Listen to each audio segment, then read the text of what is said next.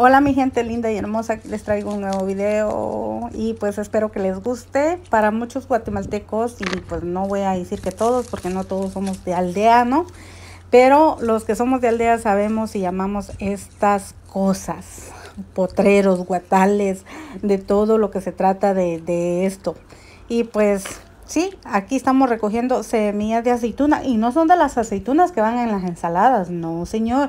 Estas aceitunas se usan para hacer jabón casero, sí, jabón para lavar la ropa, incluso para quitarte la caspa, porque sí, es muy bueno. Este, ahorita van a ver los colguejes que están allí, esos meros, esas son las semillas y se caen. Y uno hay que recogerlas cuando todavía están frescas y se ponen en un tendido a secar con el sol. Luego que ya está lista para quebrarse, se quiebran y se pone a cocinar. Bueno, ese es el proceso y más. Ahorita les voy a traer una cocina hermosa que a mí me encanta. Pues para muchos tal vez dirán que no, pero para mí es hermosísima porque no hay nada como cocinar al aire libre. Y aquí tenemos unos ricos y deliciosos tamales, wow, hirviendo ya listos para comerlos con café.